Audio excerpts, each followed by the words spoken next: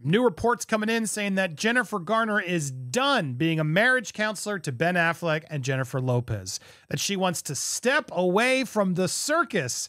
Can't say I blames her. Welcome to Popcorned Planet. I am Andy Signore. This just in from sources telling the Daily Mail, so take it as you will. Uh, Jennifer Garner is over it all. She's done, Ben. She's not going to be there anymore for you as a marriage counselor. She's going to be there as the mother of the kids. She's obviously going to support you with the kids stuff, but enough of this circus. Look, it seems believable to me, and it made me want to go back and figure out how did these this this couple actually break up? What was the cause? What do we know from these two? I've gone back and pulled a bunch of uh, previous interviews that should shed some light on all of this. But first, let's go through this latest report coming in through the Daily Mail about how she wants to step away from the circus after a painful realization. Affleck paid a visit to his ex wife's house on Sunday. Garner is stepping back as the drama is bringing back many memories.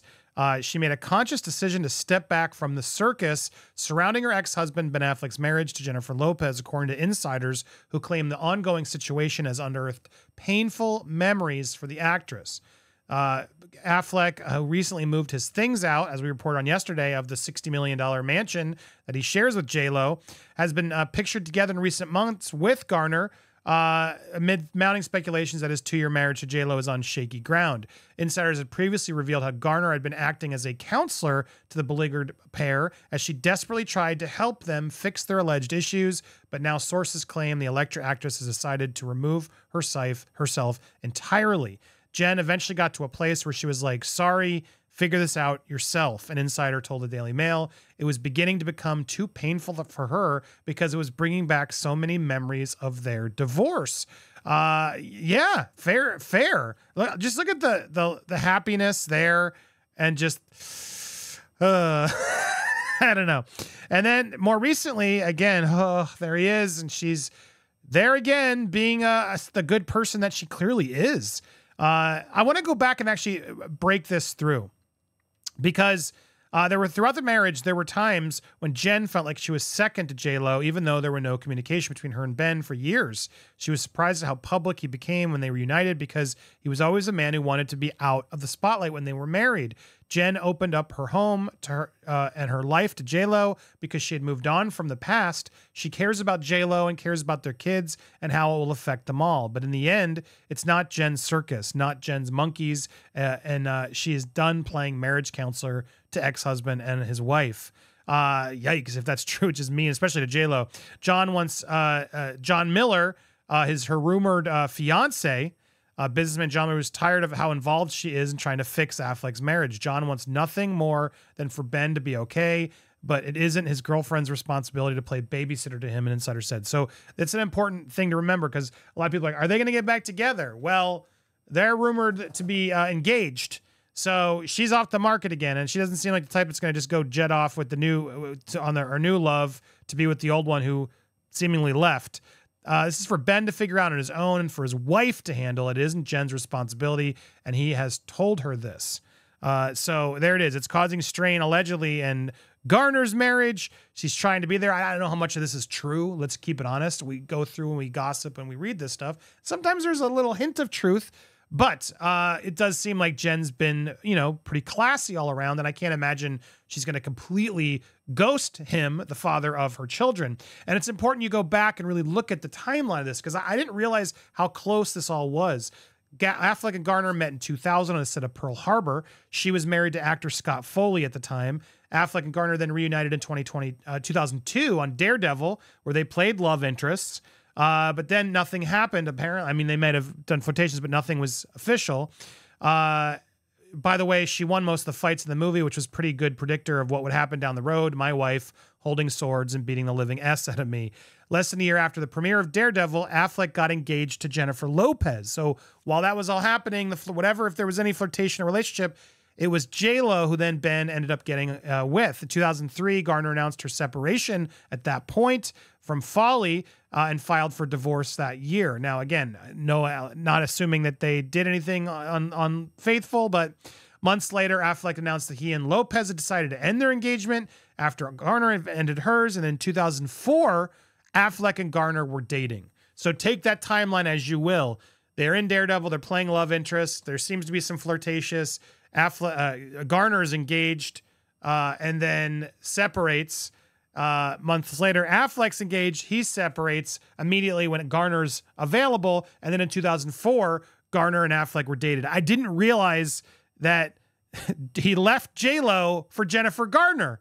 That's what's so fascinating. The couple married in 2005, welcomed their first child, and then their second child in 2009, and their third child in 2012. So they were together for a while. Fast forward to now, seemingly broke breaks up with Garner, then get you know while sometime later. This was in 2015, so it was about 10 years ago, um, more than that. Then they separated, and they were go- apparently not really together those last few years anyway. 10 years later, he then goes back to J-Lo, which is all just very strange. Now, why did they divorce? This is where things get even more interesting as we go back and look at some of the quotes. Uh, there was an infamous Howard Stern show interview in 2021 where Affleck revealed that he and Garner broke up because they simply grew apart. The truth was, we took our time, we made a decision, we grew apart. We had a marriage that did not work. This happens. It's, it is somebody I love and respect, but to whom I should not be married any longer. And then we said, you know what? We tried. We tried because we had kids, and then we, both of us felt like we don't want this to be a model that our kids see of marriage. Affleck told Stern he and Garner would have ended up at each other's throats had they not ended things. He also believed that he would probably still be drinking if their marriage continued. That was part of why I started drinking alcohol. I was trapped. I was like, I can't leave because of my kids, but I'm not happy. What do I do? What did I what I did was drink a bottle of scotch on the couch while which turned out to not be the solution. Now this quote completely backfired on him, and everyone tried to spin it as if he was blaming Jennifer Garner for his alcohol, which I never took. It was very clear if you read the full, listen to his full conversation, he was blaming himself. Uh, and he later then clarified, as he later did in this article. Uh, this was a really good article, actually. We'll come back to it, but um, this Hollywood Reporter article I, I, is such good insight on Ben uh, that he wrote. This was from, if you want to go look this up, the Hollywood Reporter piece on him in why can't I get the headline? Oh, there it is. This was in March of this of this past year, March 16, 2023. Definitely one you want to look up. So in it, he reveals a lot and he responds very frustratingly to that quote that was completely taken out of context. And he credits J-Lo for coming out there and speaking up more. Why aren't you on Instagram? Your wife's very good at it. My wife's a genius at that. I don't know if there's anybody who understands Instagram better than her. In fact, she gave me a talk this morning before this interview. She thinks she that because of experiences that I've had, I've become very guarded. She's right. I view these things as landmines where if you say one wrong thing, your career might be over. I had a really painful experience where I did an interview where I was really vulnerable, and the entire pickup was something that was not only not right, it was the opposite of what I meant. This is uh, the Howard Stern show. You're talking about drinking towards the end of your marriage to Jennifer Garner. Affleck explains the idea that I was blaming my wife for my drinking. To be clear, my behavior is my responsibility entirely. The point that I was trying to make was a sad one. Anyone who's been through a divorce makes that calculus of how much do we try? We loved each other. We care about each other. We have respect for each other. I was trying to say, hey, look, I was drinking too much. And the less happy you become, whether it's your job, your marriage, it's just that as your life becomes more difficult, if you're doing things to fill a hole that aren't healthy, you're going to start doing more of those things. I think I was pretty articulate about that. The New York Post deliberately mischaracterized it in order to make it clickbait, and everybody else then picked it up. And it didn't matter how many times I said, I do not feel this way. I'm telling you, I don't blame my ex wife for my alcoholism. So, yeah, it's hard. But anyway, Lo, Jennifer Lopez tells me today, relax, be yourself, have fun. You're actually a fun guy who is real and genuine, and you seem so serious. Do I seem serious? But in many things, she's really right. And she loves me. She's looking out for me. She's trying to help me. So it's like maybe I ought to effing listen to her. It's a very interesting insight as he then reveals previously about Je- Jennifer Garner, but also how Jennifer Lopez treats him. Uh, and and and seemingly this was all. I look at this and I remember reading this thinking, oh look, I'm rooting for them. This is a good couple. A lot of my opinions changed when I watched The Greatest Love Story Never Told because you do get to start seeing a lot of the manipulation and gaslighting by Jennifer Lopez, which I do believe is real. Now, fast forward to what has Jennifer Garner said about Ben Affleck. This is where things get truly I got to say, pretty sad. She calls him uh, the love of her life. And this was an interview she did back in 2016, like a year after the split, where she spoke to Vanity Fair. Uh, this was right out, the, out coming out. It was a real marriage. It wasn't for the cameras, and it was a huge priority for me to stay in it. And that and that did not work. Uh, I did marry the big fat movie star. I married him and I would go back and remake that decision. I ran down the beach to him and I would again. You can't have these three babies and so much of what we had. Uh, he's the love of my life. He's the most brilliant person in any room, the most charismatic, the most generous. He's just a complicated guy.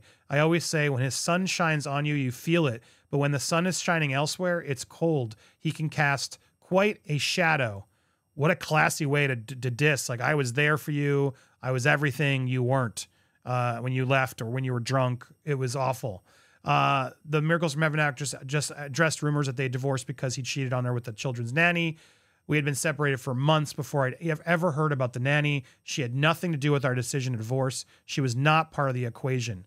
Uh, she does at some point, I think, acknowledge bad decision, but uh, doesn't engage and say that that was anything to do with it.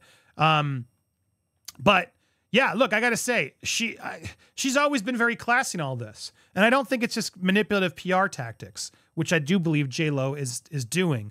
Uh, Jennifer Garner's always been very quiet. She doesn't really want the limelight on this. She's she's said what she had to say. She says it very classily, and I always respect it. And I do believe this was a serious heartbreak for her. And it does seem like Ben was the one who, who was just they were both unhappy, but Ben's the one who really made the decision and couldn't find his way and left, which makes all of this now coming back full around uh, even more uh, interesting because she's now still amidst all that heartbreak and love she had with the three children she had with him, uh, still there for him.